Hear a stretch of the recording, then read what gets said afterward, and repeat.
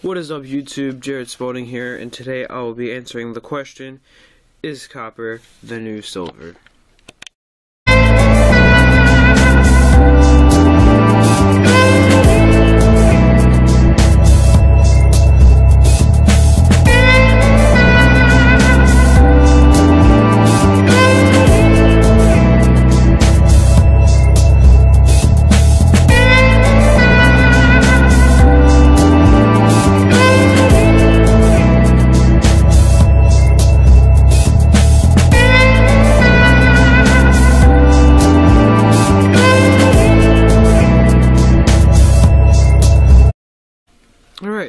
So copper is very new in the game of precious metals.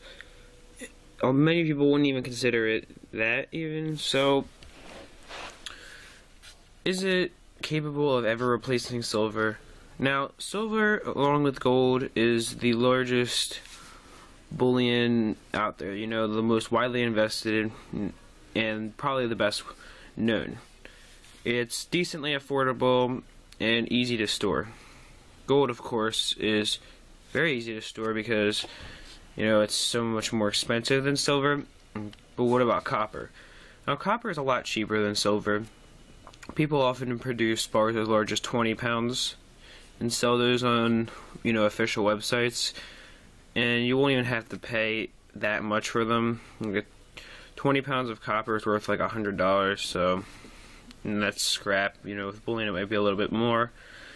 And you know, the smaller ones like one ounce rounds and stuff are only worth about 25 cents a piece in weight. They cost you know several dollars a piece due to the fact that copper is so cheap. And many people say it's very difficult to store. Now, I do have copper bullion personally. I have 40 ounces of it. Just not too much, but you know, I figured I would start investing in it just in case. And I mean, now, if you couple the fact that copper is thought that not to be a precious metal and pretty bad investment with the fact that copper is, you know, so cheap, you really, the answer to this question really probably is no copper will probably not replace silver as a bullion, at least not in the next 10 years. Am I saying it's never going to happen? No, that's not what I'm saying. And am I saying it's impossible for it to replace silver? It's not what I'm saying either. But I'm saying it's not very likely to replace silver. But it does have potential. It's used a lot in industry. And it has gone up, you know, four, five times in value in the last 10 years. And, I mean, it is still climbing. However, 60%, I believe, this is um, 60% of people think that copper will go down in, in value in the near future, which is very bad for copper.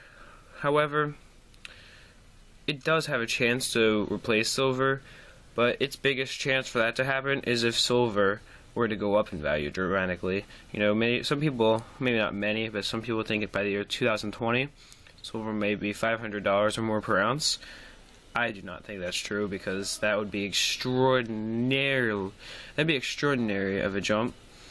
But if that were to happen, then copper would have a lot of chance to move up in the world uh, because people would not many people would afford such large amounts of silver anymore so people would be forced to buy you know copper bullion and that would push it up also if silver were to become so expensive it would become like gold and be, it would be getting replaced in the use of cell phones by copper in fact, it already is due to the fact that copper is nearly as conductive and also can be stripped into very thin wire. So copper is replacing silver in you know the use of electronics and all those kind of things. But as a bullion, like I said, there's not much chance of that happening. Now, I'm not going to say you should or shouldn't invest in copper because really it's your money, your choice. I do think that it is a good idea though. Because, like I said, I personally have 40 ounces, and a lot of people are saying that you should buy copper bullion. even if they think it's risky, it's a risk that I am willing to take, and you know maybe you are too, maybe you're not. But it really is your choice when it comes to investing in any metal, especially you know copper or risky metal like that. You definitely want to be careful. But it's not gonna have much chance of replacing silver if silver doesn't move in value. And if it does, then I would be surprised.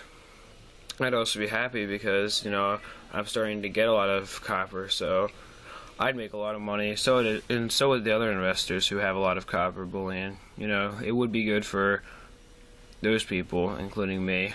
And it is it is a good addition to your portfolio. You know, if you have a lot of it. I don't have that much. I only have two and a half troy pounds. But I do plan on getting more in the near future, and I would advise that you do get some. Like I said, I'm not going to tell you whether you should or shouldn't, but I advise you get some because even if it were to go down,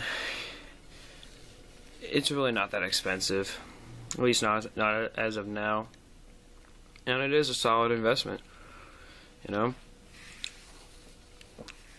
It, I do recommend it, and if you go and look up other people, they will also recommend copper, or at least some of them will. There's a lot of big websites that sell it now. You know, Provident Metals, I believe, sells it. Um, MCM might sell it, and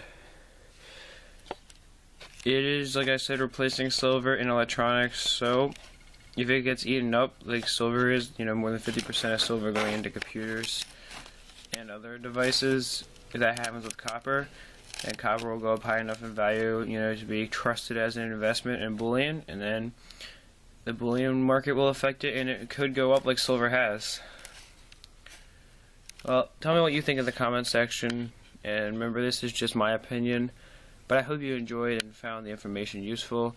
Peace, love, and much respect.